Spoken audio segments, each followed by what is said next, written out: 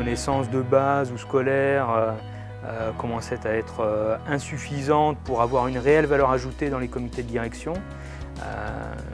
Et puis le, projet que j'ambitionne va nécessiter de fédérer euh, sur des domaines euh, au-delà de, mes connaissances euh, de base ou de mes expériences passées. Donc le MBA était nécessaire pour m'enrichir en termes de, management de l'innovation, innovation managériale, et même des domaines comme le marketing me seront nécessaires pour, pour le projet que j'ambitionne.